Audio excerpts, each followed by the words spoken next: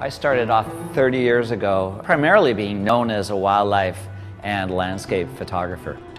I'm still photographing nature. But certainly as an artist and a photographer, I will always have tried to push myself in all sorts of different directions. Probably 15 years ago, I started photographing cultures. And that really has been a ticket to remote areas around the world from which I photograph wildlife and landscapes, remote cultures, urban settings. I love all of it. You know, it's vitally important to me as an artist. My background's painting and art, so from the very early ages I was framing and matting paintings, and now, of course, as a photographer, I'm doing the same. So I've built this beautiful gallery it's built with the best lights that I could possibly afford in presentation, and it, that goes in hand in hand with presenting the work. Prints have always been important to me. I mean, from the very first time I started making living, in fact, I started off selling prints as many of my colleagues did. The way we look at prints has significantly changed.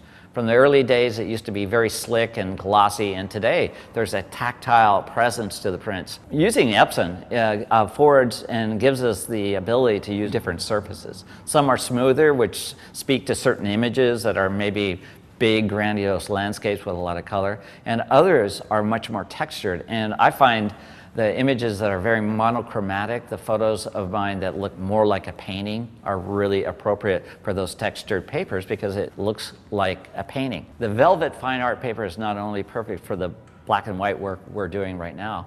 But I'm also, as I get older, abstracting a lot of the color work. You know, I love taking abstracts. In fact, part of my curriculum now is just devoted in seeing the abstract world. And so those beautiful bright colors are really coming through on this paper as well. So for all the right reasons, this paper seems to have arrived at the right time.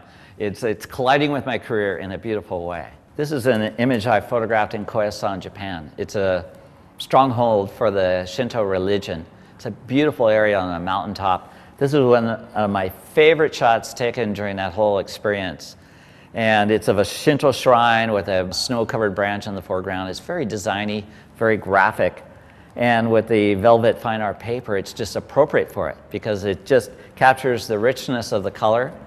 And the fact that there's no surface uh, reflection is perfect for it as well. This is an image from the new series on the abstraction of the human figure. All the experience I've had in uh, the out of doors with textures and clays. And why this Epson velvet fine art paper is so appropriate because there's a texture to it that, uh, you know, it almost replicates the cracked clay nature of it. It's the perfect paper for this entire series. I think this photograph exemplifies why I love the Epson Velvet Fine Art print.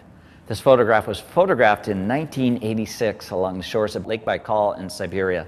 And I've had it printed initially on glossy paper, and it just looks awful.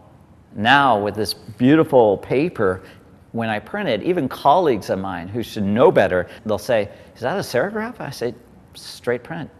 But when it's on this surface with this texture, it looks like a serigraph. It looks like a painting. You know, when we have an image, you go out, you take a picture, you bring it back, you, you kind of wind up with the image that you want to present that is actually a metaphor for the whole trip.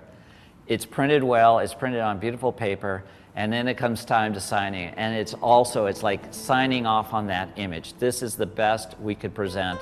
This is my signature. And when it's a limited edition print it's all part of that presentation. There's a value ascribed. We live in a world where i'm out there using digital captures. You know you don't have an old piece of film. There's nothing tangible about it. So by the time it's printed and presented and i'm signing it this is a valuable, this is a tangible object we're holding here. And that's, that signature kind of seals it. It's like the stamp. This one's ready to go.